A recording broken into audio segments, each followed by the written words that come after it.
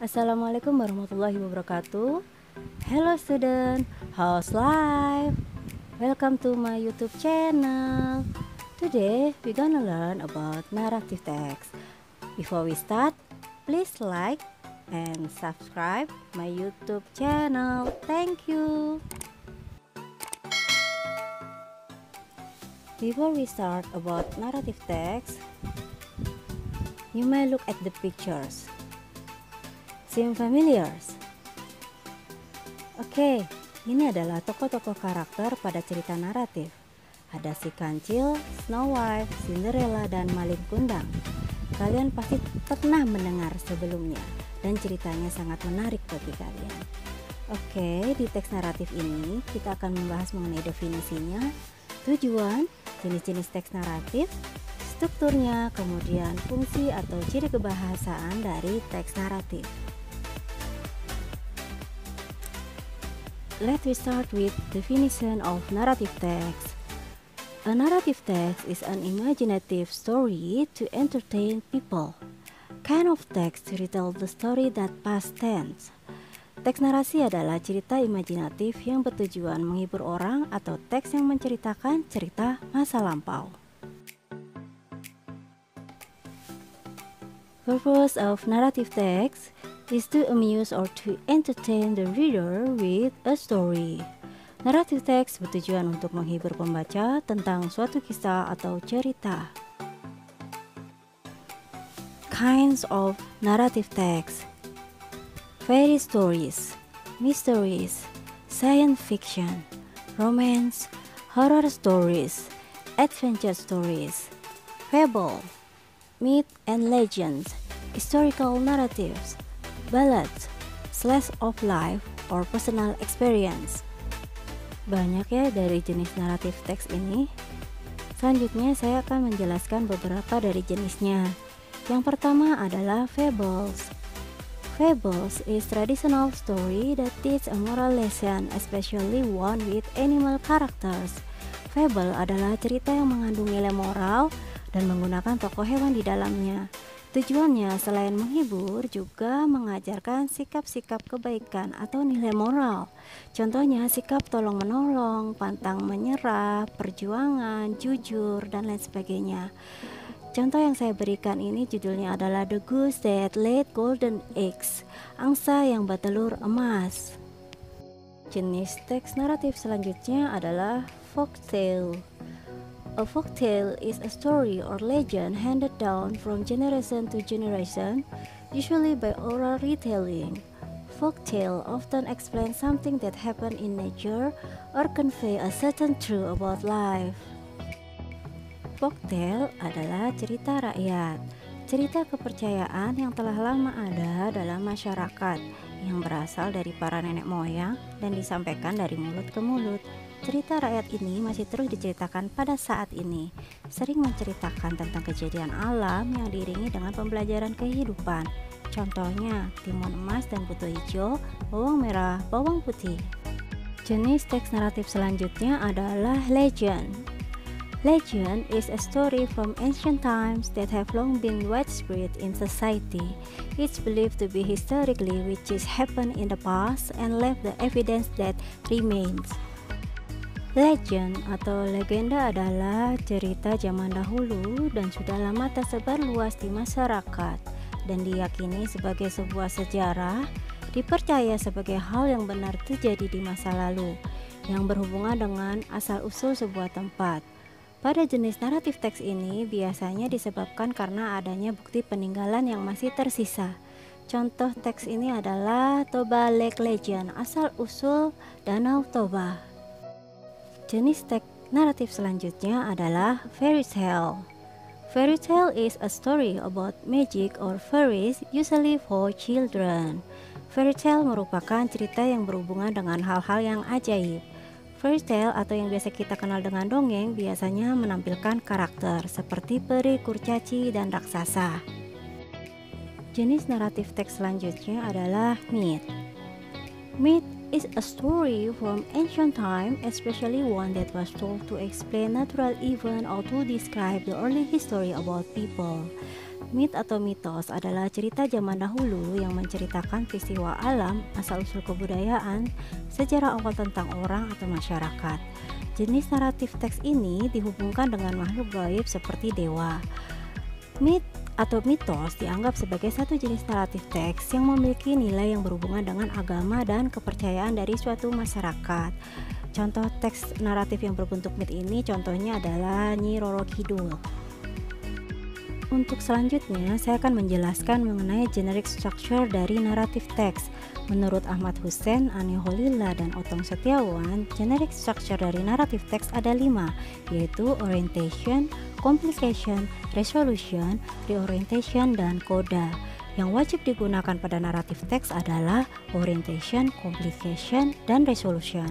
Sedangkan reorientation dan coda optional, artinya bisa digunakan atau tidak.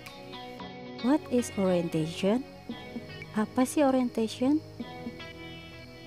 The state of orientation tells who is who and where. This is to say that the state specifies who takes part in the story. The participant may be human or non-human beings, such as animal and things. The stage also indicates the location, namely the place where the story takes place and the time when the story happened. In brief, orientation is an opening paragraph where the characters of the story are introduced. Tahap orientasi menceritakan siapa adalah siapa dan di mana. Artinya, pada tahap orientasi menentukan siapa yang mengambil bagian dalam cerita who is the participant of the story. Pesertanya mungkin manusia atau bukan manusia, seperti hewan dan benda. Pada bagian ini juga memperkenalkan di mana itu cerita itu terjadi, where is the place setting, dan kapan cerita itu terjadi, when is the time setting. Singkatnya, orientasi adalah paragraf pembuka di mana tokoh-tokoh cerita diperkenalkan. Perhatikan dua kalimat yang ada pada tahap orientasi. Once upon a time, there was a wolf lived in the forest. Once upon a time in Kalimantan, there lived a mother with her daughter. Kita analisis yuk. Oke, okay. once upon a time adalah when is the time setting. Kapan cerita itu terjadi? There was a wolf, there lived a mother with her daughter adalah who is the participant of the story. Menunjukkan siapa karakter pada tokoh cerita tersebut. Selanjutnya, live in the forest in Kalimantan. Where is the place setting? Di mana cerita tersebut terjadi? Generic structure dari teks naratif selanjutnya adalah complication. The stage of complication treats the crisis or climax in the story. This is the part of the story where something goes wrong and become a serious problem. The crisis is of great interest and suspense. The stage is where the problem in the story develop. Pada tahap komplikasi adalah bagian berkembangnya masalah dalam cerita yaitu bagian yang memunculkan krisis atau klimak di mana ada yang tidak beres dan menjadi masalah yang serius pada cerita tersebut. Dan pada tahap ini cerita menjadi sangat menarik dan menegangkan. Generic structure selanjutnya adalah resolution. The resolution stage explain effort taken to solve the problem, either in happy ending or sad ending. Tahap resolusi menjelaskan upaya yang dilakukan untuk pemecahan masalah yang ada pada cerita. Apakah akhir yang menyenangkan atau berakhir tragis, menyedihkan. The next generic structure from narrative text is reorientation. This stage is optional. This is the conclusion of the story.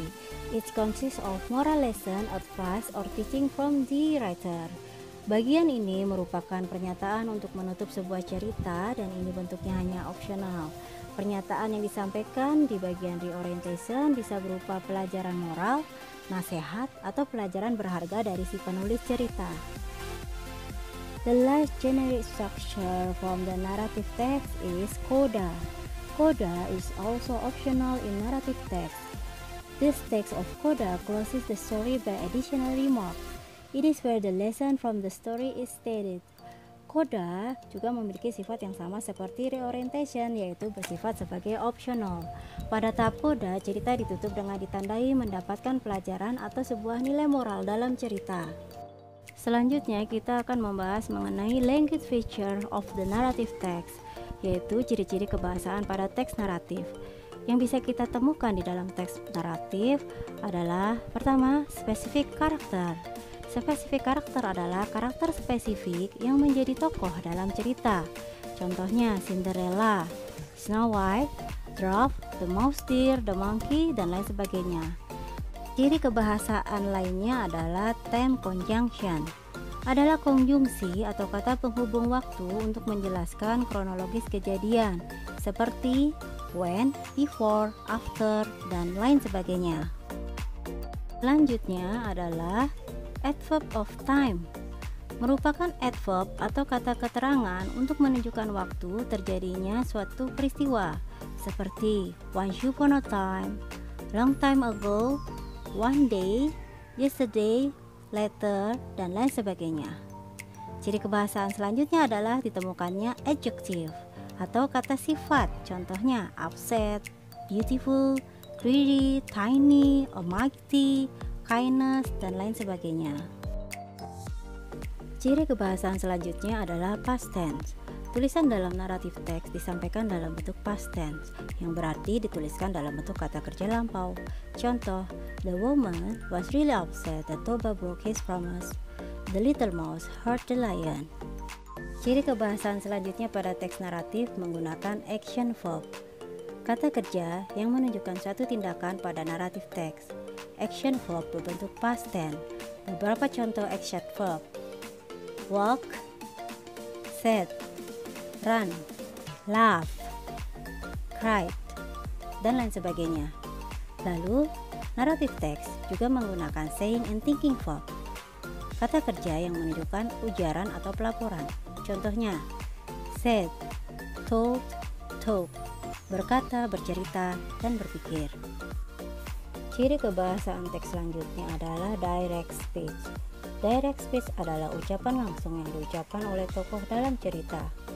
Dicirikan dengan kalimat yang diapit dengan petikan tanda baca petik 2 bukan tanda baca petik 1 dan dipisahkan dengan kalimat pengiring dengan tanda koma. Contoh, Hey beautiful girl, is that your mother who walks behind you? asked one of the villagers. The girl arrogantly said, Of course not. She is my maid, said the girl. Ciri kebahasaan teks naratif selanjutnya adalah menggunakan indirect speech atau kalimat tidak langsung, yaitu kalimat yang menyampaikan atau lebih tepatnya melaporkan kembali ucapan orang lain.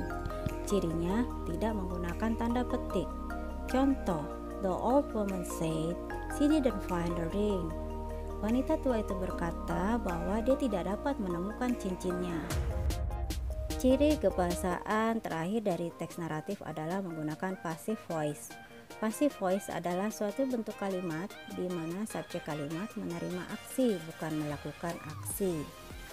Perhatikan contoh kalimat untuk membedakan kalimat aktif dan pasif. Some hunters caught lion in a neat day. Lion was caught in a net laid by some hunters.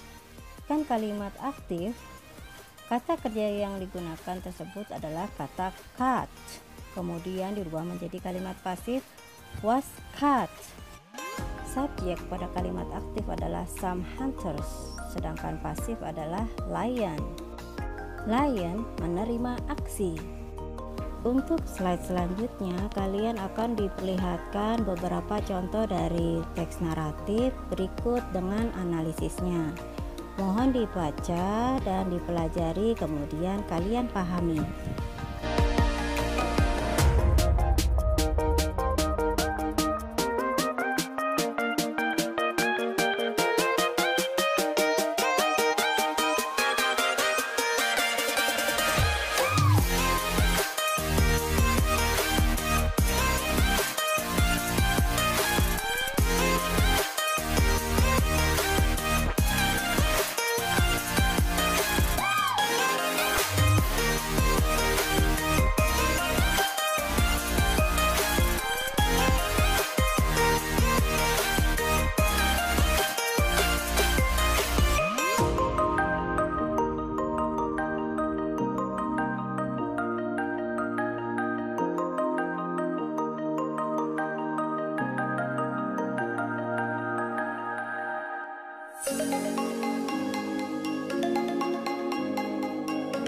Latihan kali ini telah diberikan teks naratif yang berjudul The Fox and the Crow.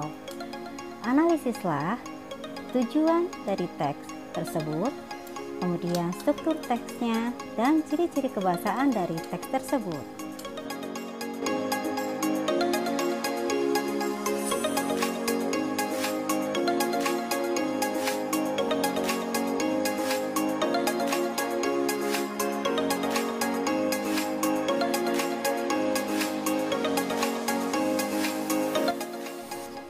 That's all. Thank you for watching. Jika lo memang video ini sangat bermanfaat untuk kalian, share ya video ini kepada teman-teman kalian semua. Don't forget to like, comment, share, and subscribe my YouTube channel. See you on my next video. Wassalamualaikum warahmatullahi wabarakatuh.